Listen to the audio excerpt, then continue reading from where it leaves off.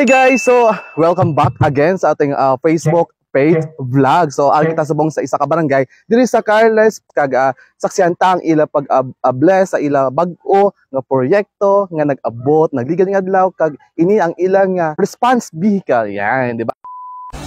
Sinyo Tugbungan Orok 5 Ah, tako-tako gina akong magpasalamat sa inyo no. Ulit-ulit sa aton sa aton nga mga municipal officials, sa aton pinalangga nga mayor, sa aton pinalangga nga vice mayor, sa aton mga SB members, ari dire sa SB member Honorable Alberto Corbera, ang sukuman sa aton mga SB members na wala nagapabaya, aday Toto Carloong, There is Earl Patrick Pinita. Is P. SP Martino Ilbas. Ina sila nga mga grupo nga mga SP. Wala kita sila nga pabaya. Kung ano atong mga yuon nga proyekto, ginatagi na nila sa aton. Aray subong, aton ginatindugan. Ang aton nga bago nga plaza. Ginatagi na sa aton municipal officials, Tagi kay Mayor, sa aton nga mga pinalangga, kay SP members, subong lang kay Vice Mayor, No? Wala ina sila. Nagpalibad sa Panginoon ko sa ina. Kani, natigayo naton. Ang atong ginahandom na mga matokod ang dire nga bagong naton na plaza. At sukuman, sa aton bago nga response vehicle, ang aton responder. No? Ginapabugal ulit ini sa inyo. No, kaya ini dako kinyo muling sa aton. Mga pinalanga ka pumuluyo, kapay pa. Kaya ini, nga proyekto makaambit sa aton uh, kinahanglan nun sa pagsa-pagsa. Wala ra kita sa emerhensya. 24 oras o 24-7 ara kami nga mga barangay officials bukas ang amon panimalayo o namon kalatapan.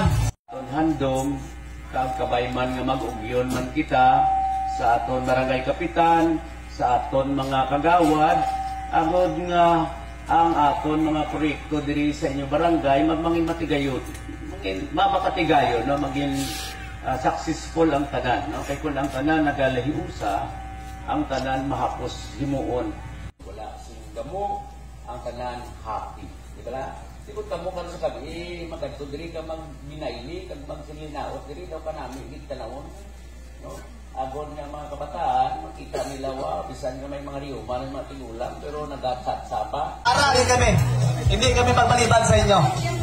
Uh, pag sumuman, uh, ginawir ka po kayo ginatali sa atong mga pinalaga ng mga bisita, ang akong topod ng mga barangay captain sa barangay Hintiklan, si Honorable Barangay Captain Jomil Bernal. Ako po man ay uh, treasurer, si Lilia Mercorio. Ako po na kaya na. Former agawad, uh, Bimbo Mercorio. Para ang ilang mga response vehicle, ginapalayaw man nila sa itigyan. Dungan kami sila nagproseso. Para lang matigayon na ini nga mga proyekto. No? Kasunod sa ito nga tuwig, gitinguan din naton. Na matigayon, Mga muyo ikaw Dios nga mo na may pagisin ning imo anak na imo nga tawo kag nagapuyo sa tunga namon ginabuksan mo para sa amon ang kanaan patingin sa amon buloy at langit nun. Ginoo. Okay? One, two, three. Yay! Amon basketball court.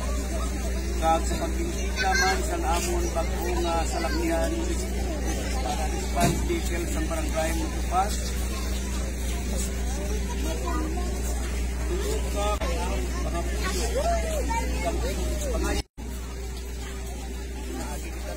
Ha.